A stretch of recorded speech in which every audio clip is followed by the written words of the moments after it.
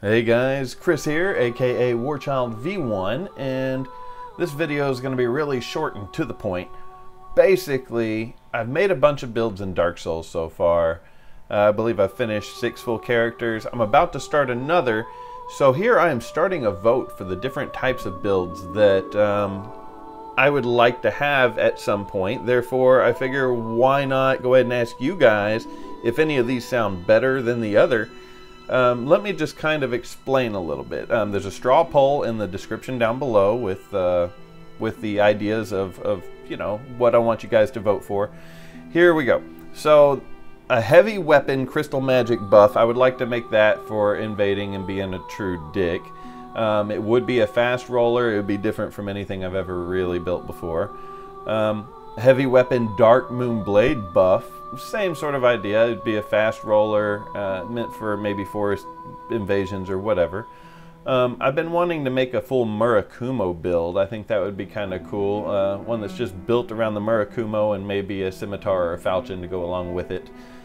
Um, a complete Leo build, which would mean everything pokey. Any kind of pokey weapon, I would probably go and max it out, and that would be a weapon for that build.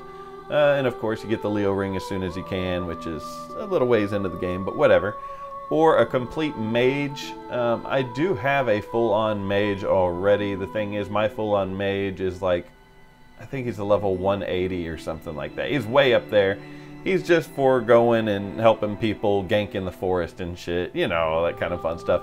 Well, this mage would be more of a regular level, probably low health uh, kind of thing, but those are my ideas. I would just, I, I need a direction to go in for my next playthrough, and it's going to be a full-on lore playthrough. It's something I've never done before, but I've recently gotten really, really, really interested in. I started reading uh, item descriptions recently, and it's it's amazing. Yeah, I've always known that the lore's in the item descriptions, but it's it's quite cool stuff, and I want to do a full playthrough where I literally pay attention to all of that and try to piece everything together.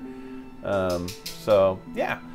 You guys let me know what you think. Um, there's a straw poll voting link in the description below. Click that and choose what you think I should try.